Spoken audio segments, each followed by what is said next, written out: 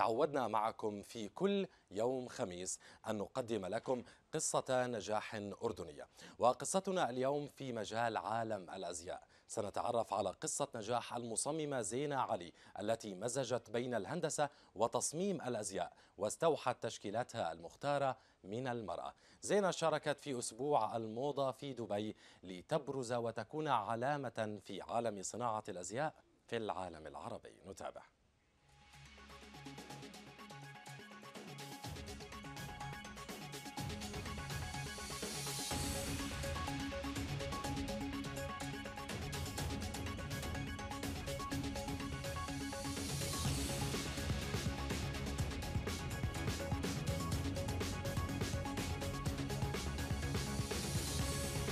بلشت من عمر تسع سنين.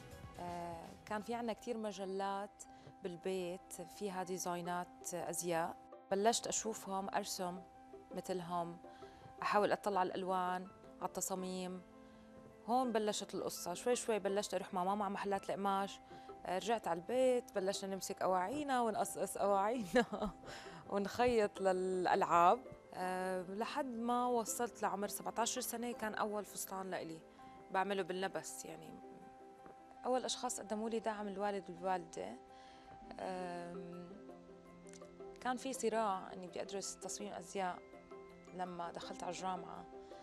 وكان الصراع إنه ما في تصميم أزياء بالأردن. إذا بدي أوصف قصتي بكلمة أو كلمتين بوصفها بيقين أو إيمان.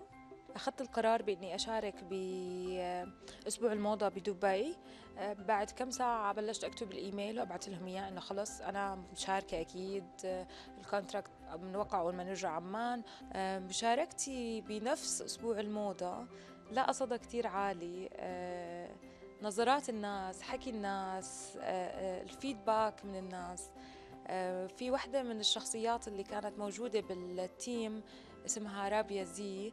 هي من أول المصممات المحجبات بالعالم العربي الإسلامي. آه، كانت آه، من الأشخاص اللي أثروا علي وكنت بحلم إني أقابلها.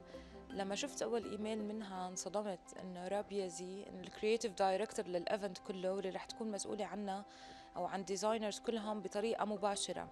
قبل ما أطلع على ال stage مع العارضات آه، بلشت تدمع وشفت نظرات قد هي فخورة.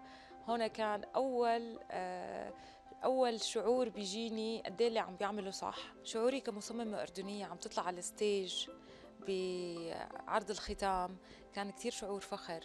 اللي بيميز تصميم زينة علي إني بستوحي التصاميم من المرأة للمرأة بستوحي من قصصهم من تجاربهم مشاعرهم اللي بيمرقوا فيها. إنه إحنا مش بس تصميم أزياء إحنا في رسالة كتير مهمة بتحكي عن قضية من قضايا المرأة بكل مجموعة. إن شاء الله بدي أوصل لمصنع يضم على الأقل مئة سيدة كبداية. من المواقف اللي مرقت علي حسستني إني أنا بني آدمة ناجحة وشخص ناجح بهذا المجتمع لما كنت أشوف كل مجموعة قاعدة عم تخلص قبل ما تطلع على السوق. مجرد ما يتنفذ القطع خلص أنا بعرف هون إني أنا نجحت. أنا زينة علي. آمنوا بحالكم وألبسوا قصتكم.